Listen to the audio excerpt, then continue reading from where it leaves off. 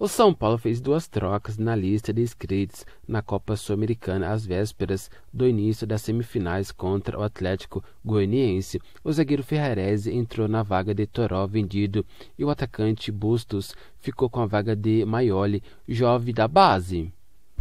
A dupla de estrangeiros foi a última movimentação do São Paulo no mercado da bola. Tanto o zagueiro quanto o atacante pertence ao Grupo City e chegaram por empréstimos até o meio do ano que vem.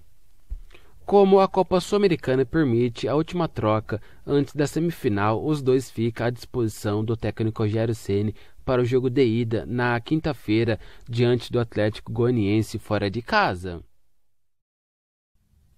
A novela sobre a transferência de Anthony ao Manchester United finalmente chegou a um fim.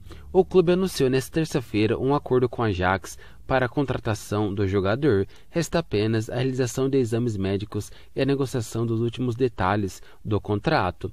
As conversas para Teantre não foram fáceis. Os ingleses tiveram que lidar com diversas recusas do time holandês, que não parecia disposto a liberar o atacante. Segundo informações da imprensa local, o jogador custou 100 milhões de euros aos cofres do time inglês, 95 milhões de euros pelo acordo e mais 5 milhões de euros em bônus.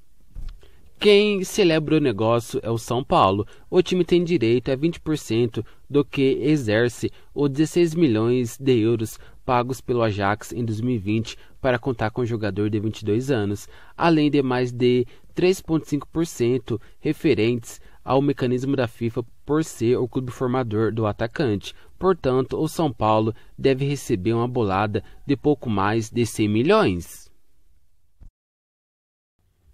O elenco do São Paulo iniciou nesta terça-feira a preparação para o duelo contra o Atlético Goianiense que vale vaga na decisão da Sul-Americana.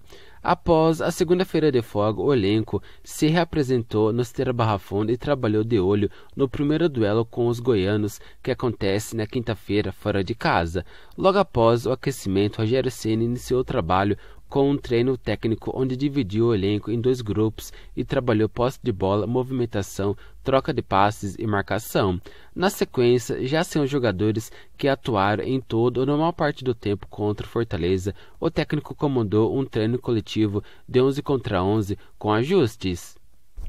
Recuperado de uma lesão ligamentar leve, por causa de um trauma no tornozelo direito sofrido no clássico contra o Santos. Gabriel Neves trabalhou normalmente com o restante do elenco e se mantiver a boa evolução fica à disposição para a Sul-Americana.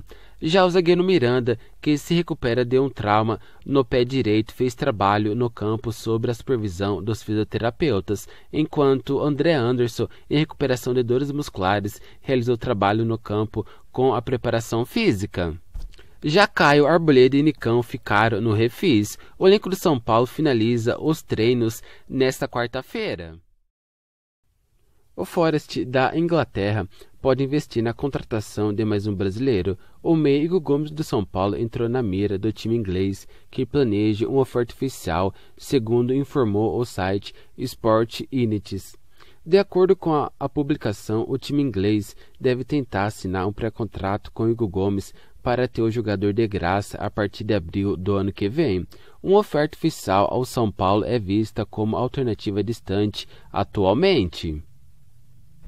Vale destacar que o time inglês, recém-promovido de volta à Premier League, adotou a mesma estratégia com o Gustavo Scarpa. O jogador do Palmeiras já tem um, um, acerto e vai se transferir para a Inglaterra no fim do ano, ao fim do seu contrato com o Palmeiras.